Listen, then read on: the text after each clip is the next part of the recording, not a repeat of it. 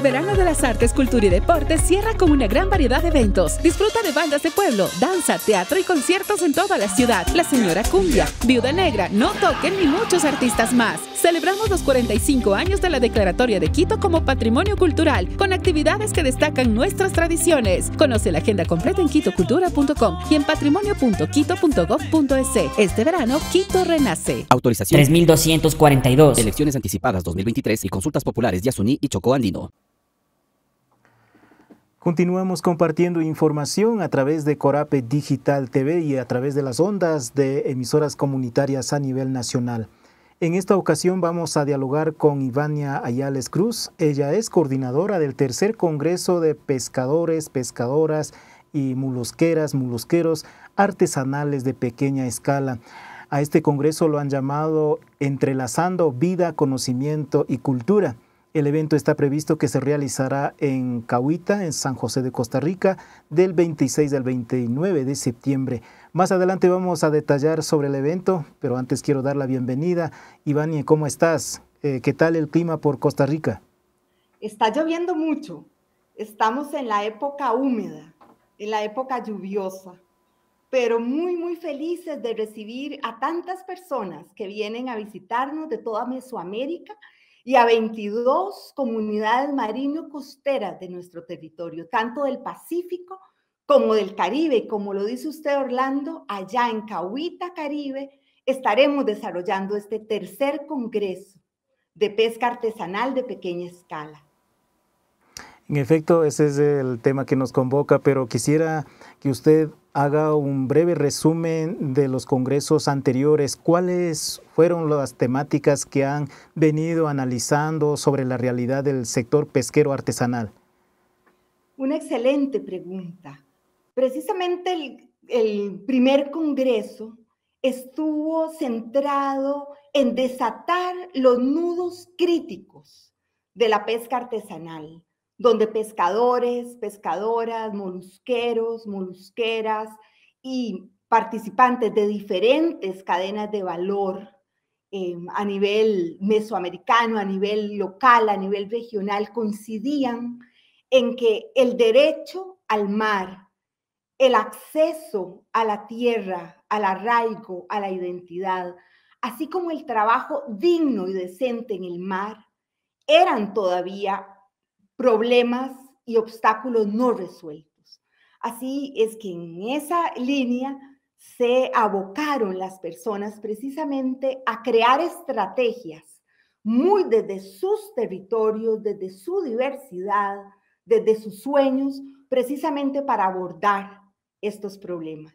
Y no se quedó solamente en manifiestos, en proclamas, sino se dieron pasos muy importantes para proponer, por ejemplo, un proyecto de ley de directrices que aborda esos temas integrales y muy importantes para un ejercicio pleno de los derechos humanos en la pesca artesanal.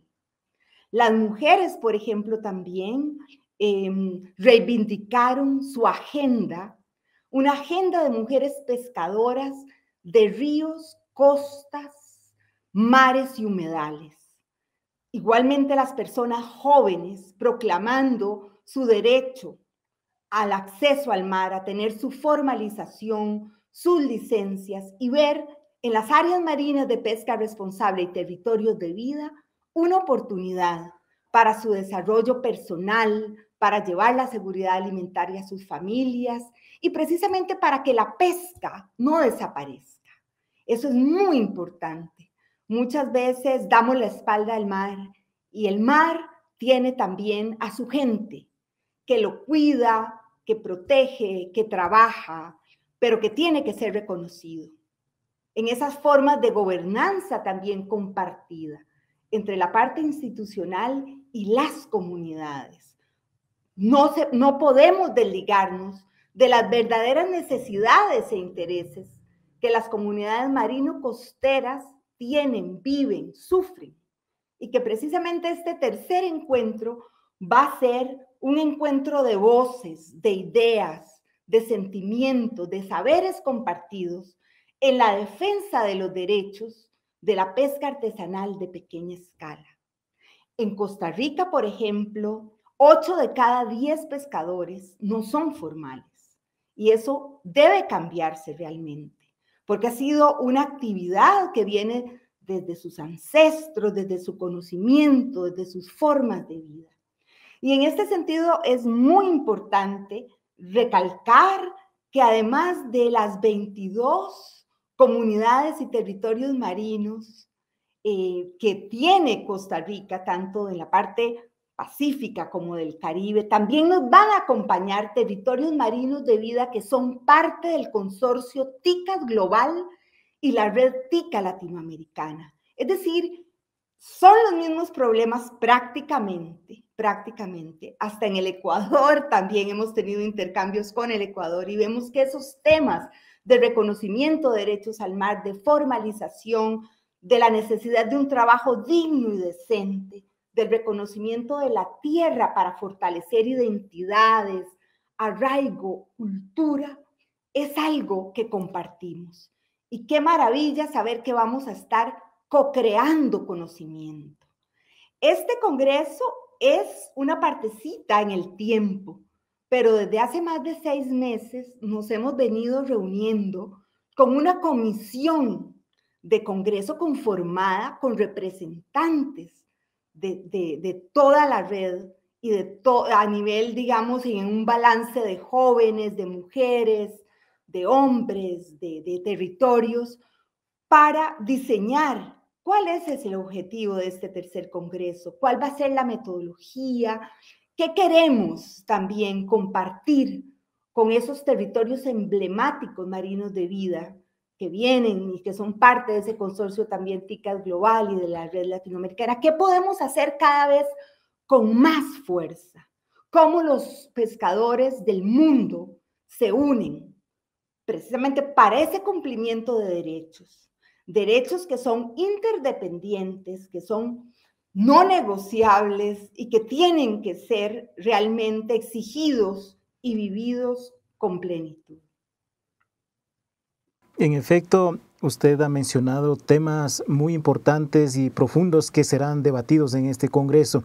Pero yo quisiera mencionar también que esta actividad de pesca artesanal también está involucrados los pueblos indígenas, montubios, campesinos y pueblo afrodescendiente principalmente en las costas de nuestros países. ¿Cuál es la realidad con ellos en cuanto a la conservación marina, que es uno de los problemas y usted mencionaba algo de la de este derecho que debe ser reconocido que muchas las veces aún no están? Muchas gracias, Orlando. Así es, los derechos de la tercera generación y tercera y cuarta y muchos más, ¿verdad? La unidad en la diversidad. En este Congreso tendremos representantes de comunidades indígenas en la pesca. Ahí mismo, como les decía y decía usted también muy acertadamente, en Cahuita, la población afrodescendiente que vive la cultura del mar que tienen un parque nacional que ha sido comanejado desde hace muchísimo tiempo por ellos, que han enfrentado obstáculos, muchos obstáculos a nivel de una visión, muchas veces que eh, tratan de, sacarlos o de minimizar su protagonismo, su conocimiento, su esfuerzo y su cultura, y eso es lo que no debe permitirse. La defensa de esos territorios, eh, documentar, defender, sostener, divulgar, es sumamente importante. Y el Congreso es eso, es un espacio estructurado, organizado para reflexionar, analizar y llamar la atención a nivel nacional, local, mesoamericano, mundial, de lo que pasa en la pesca artesanal de pequeña escala. Y ahí todos van a tener las voces los pueblos indígenas, las comunidades afrodescendientes, las mujeres jóvenes, los jóvenes, em, todos, todos em, viendo que también cada zona geográfica pesquera tiene, tiene sus especificidades, sus propias artes de pesca, eh, sus problemas, su forma de enfrentar esos territorios. Nosotros hemos apostado precisamente a una visión integral y por eso es tan importante el sustento que una visión de derechos humanos nos da, porque no puede haber conservación sin gente. Y eso es también lo que quiere posicionar este tercer Congreso. Algo tan simple y sencillo que no podemos realmente conservar si no reconocemos la sabiduría tradicional, el conocimiento que tiene la gente, sus fuerzas, su energía, todo ese cúmulo de habilidades que están puestas precisamente como aportes de la conservación que muchas veces no se reconocen. Así es. En el tercer Congreso de Pescadores, Pescadoras, Mulusqueros, Mulusqueras Artesanales, ¿cuáles son los temas que van a debatir, analizar durante los cuatro días que durará el evento? Sí, muchísimas gracias.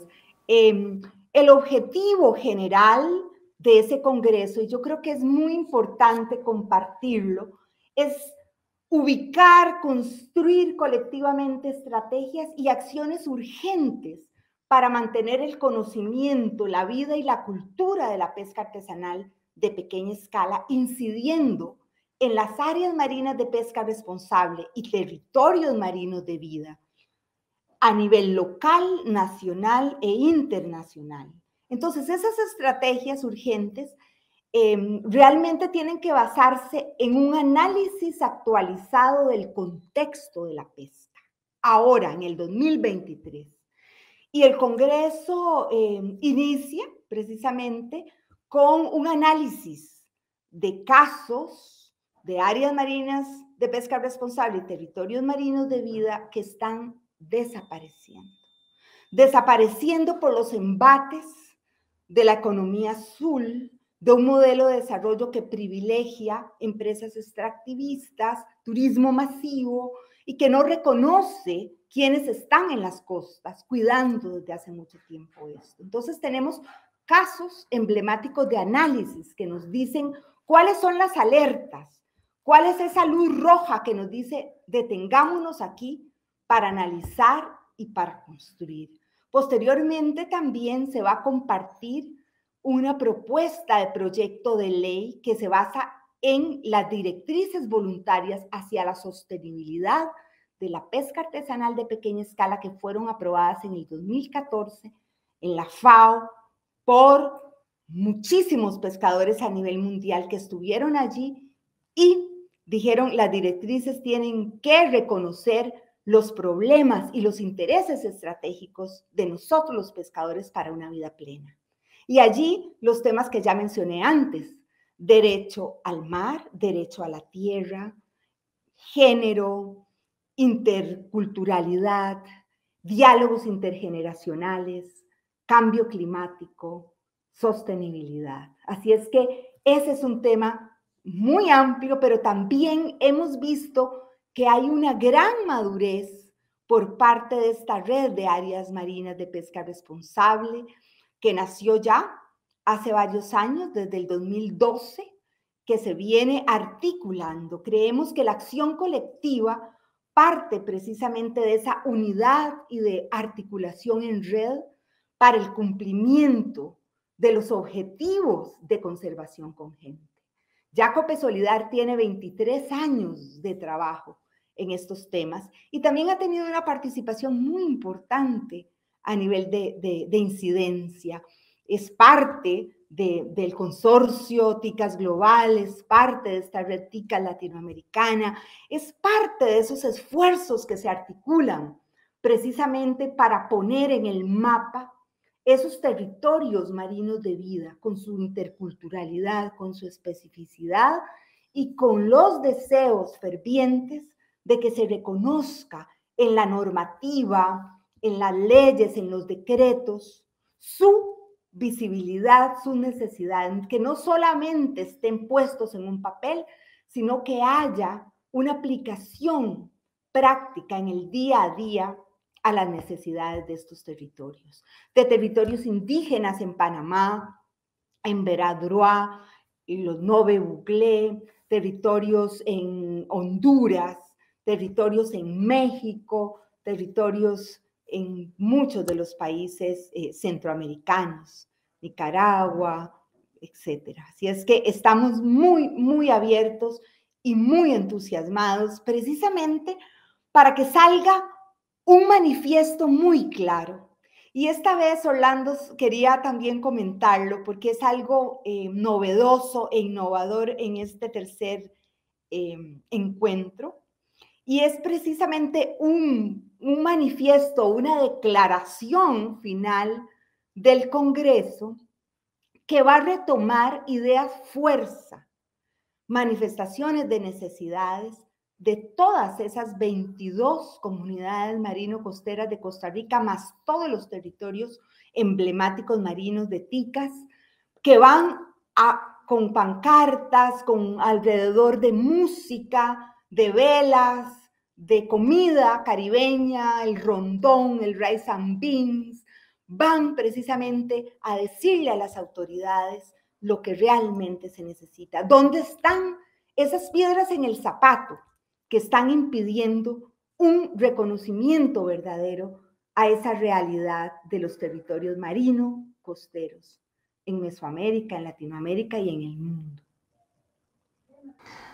Les deseamos que el Congreso tenga muchos éxitos. Seguro que el manifiesto que usted ha detallado llegará a unir a más sectores que se dedican a la pesca artesanal en resto de los países que también están luchando por la conservación marina y los derechos de las personas, familias y comunidades que se dedican a esta labor de pesca artesanal. Hay que resaltarlos. Un gusto de haber dialogado contigo, Ivania Ayales Cruz. Así es que les deseamos eh, suerte y hasta pronto.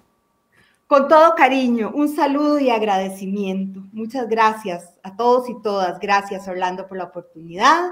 Y ojalá en el próximo Congreso puedan venir desde otras latitudes también a acompañarnos. Muchas gracias. Saludos. Nuevamente muchas gracias. Les recordamos a nuestra audiencia que las principales noticias de acontecer nacional siempre lo encuentran en nuestro sitio de YouTube y en las redes sociales con la nominación de Corape Digital TV. El verano de las artes, cultura y deporte cierra con una gran variedad de eventos. Disfruta de bandas de pueblo, danza, teatro y conciertos en toda la ciudad. La Señora Cumbia, Viuda Negra, No Toquen y muchos artistas más. Celebramos los 45 años de la Declaratoria de Quito como Patrimonio Cultural, con actividades que destacan nuestras tradiciones. Conoce la agenda completa en quitocultura.com y en patrimonio.quito.gov.es. Este verano, Quito renace. Autorización 3242. Elecciones anticipadas 2023 y consultas populares de Asuní y Chocó Andino. El verano de las artes, cultura y deporte cierra con una gran variedad de eventos. Disfruta de bandas de pueblo, danza, teatro y conciertos en toda la ciudad. La Señora Cumbia, Viuda Negra, No Toquen y muchos artistas más. Celebramos los 45 años de la Declaratoria de Quito como Patrimonio Cultural, con actividades que destacan nuestras tradiciones. Conoce la agenda completa en quitocultura.com y en patrimonio.quito.gov.es. Este verano, Quito renace. Autorización 3242. Elecciones anticipadas 2023 y consultas populares de Asuní y Chocó Andino.